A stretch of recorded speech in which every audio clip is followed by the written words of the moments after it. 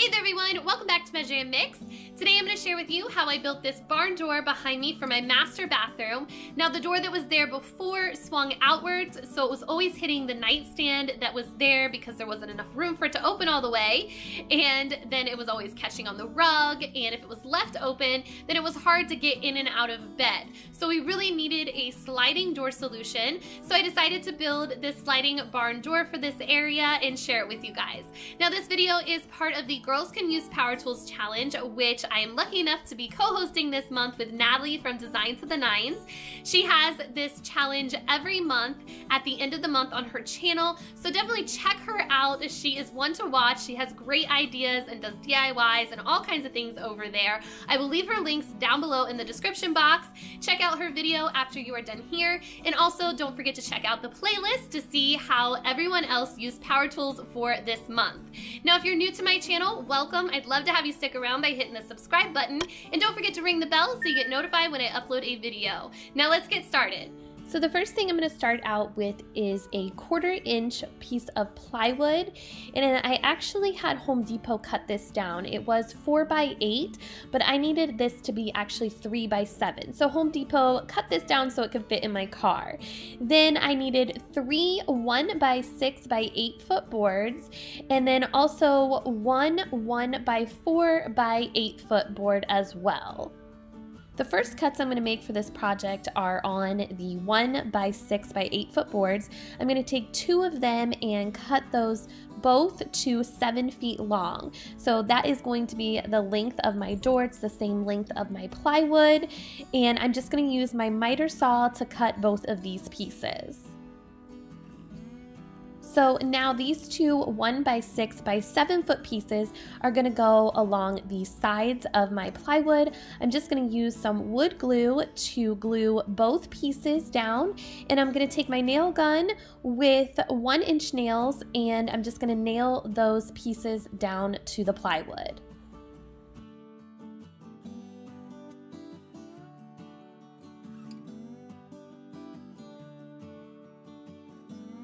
Next, I'm gonna measure in between those one by six boards and get my measurement for that. And then I'm gonna take the other one by six board and cut two pieces to that measurement.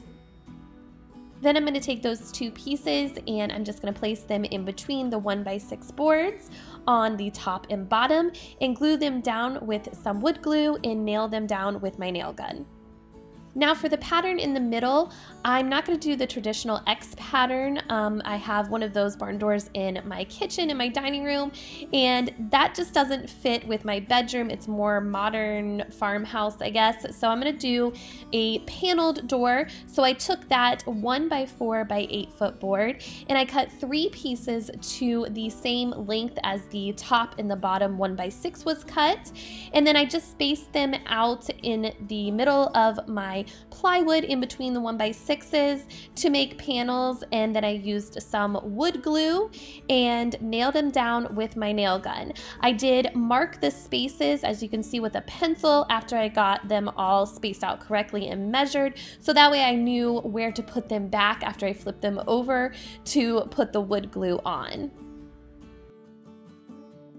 Now my miter saw is pretty old and it doesn't cut the greatest and straightest.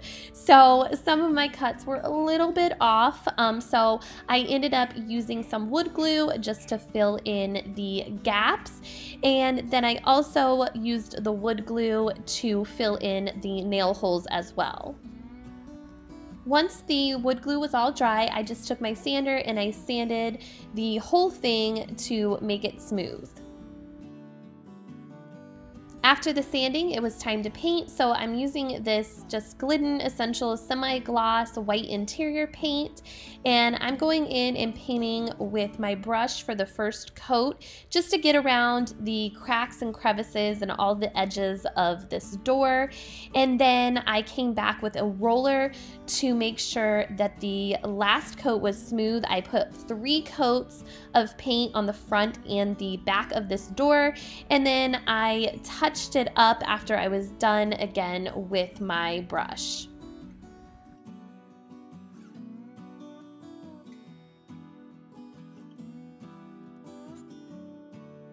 Once the paint dried, it was time to install the handle on the front part of the door. But first, on the back of the door, where the handle is gonna come out, I'm gonna apply some blue painter's tape.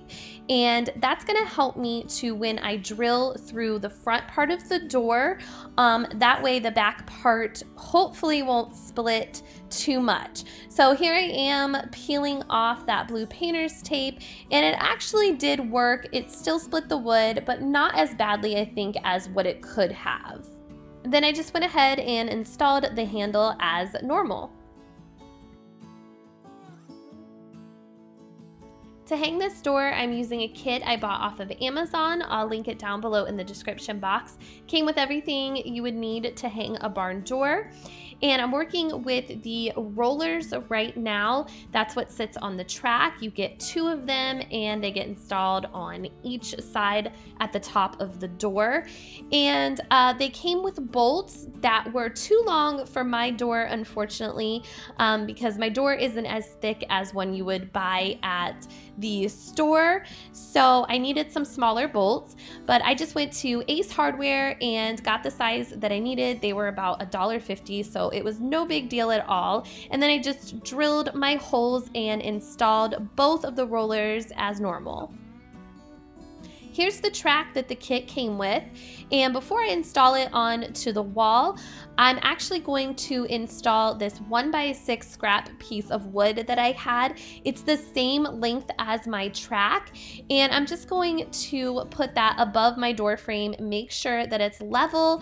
And I'm gonna nail that into the studs. So that way it's good and supported. But I'm doing this because I don't want my door to hit the molding that is already there. So um, I have to have my door stick out just a little bit. And then I'm just gonna paint it the same color as my wall so it blends in. Now it's time to install the track onto the 1x6 board. I didn't show this, but you wanna make sure that you bring your barn door where you need it and kind of eyeball where your track needs to be and how high your door needs to hang up off the floor. Because you need to have a little bit of a gap at the bottom between your door and your floor so that your door doesn't drag as you glide it across the track. Now I did enlist the help of my husband to hang this track because the track is heavy and holding the drill and the level and then also the track was just not an option, so two people is better than one to hang this.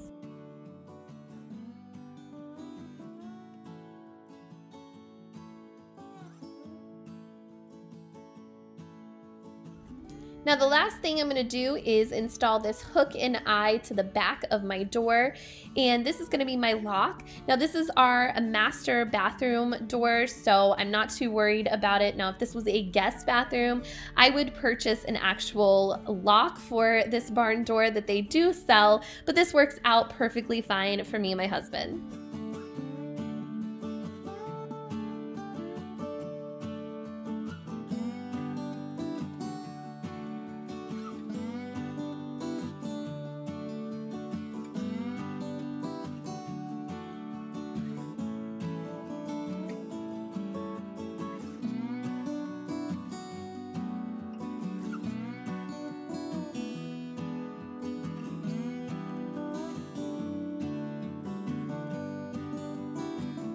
Thank you guys so much for watching today. I hope you enjoyed this video. Make sure to give it a thumbs up and don't forget to check out the playlist linked down below. I know I can't wait to watch and see what everybody else came up with. And I will see you guys next time. Take care. Bye-bye.